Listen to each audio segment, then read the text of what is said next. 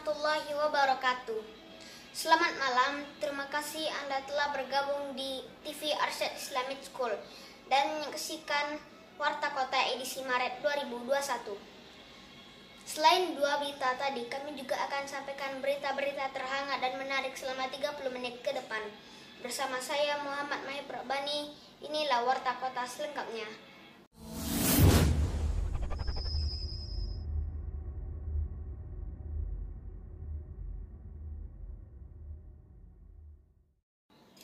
Fenomena semburan gas dan lumpur Imbas pengobaran sumur di halaman Pondok Pesantren Al Ihsan Kecamatan Tenen Raya Pekanbaru Riau hingga Sabtu siang masih berlanjut.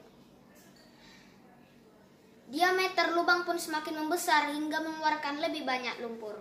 Gas bercampur lumpur hingga kini masih terus menyebur hingga meluber ke berbagai arah. Dan tidak hanya lumpur, sesekali semburan gas juga memuntahkan material tanah keras dan batu yang mengakibatkan bangunan pondok pesantren rusak berat. Dentuman demi dentuman terdengar lebih jelas dari lubang yang menyemburkan gas lumpur atap bangunan abruk. Debu-debu sisa semburan gas lumpur bertebaran menutupi area pesantren.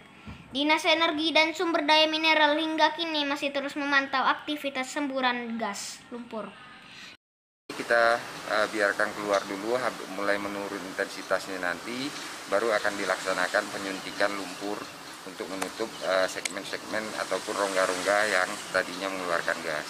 Demikianlah warta kota malam ini. Saya Muhammad Member Abani beserta kru yang bertugas mengucapkan selamat malam dan selamat beristirahat.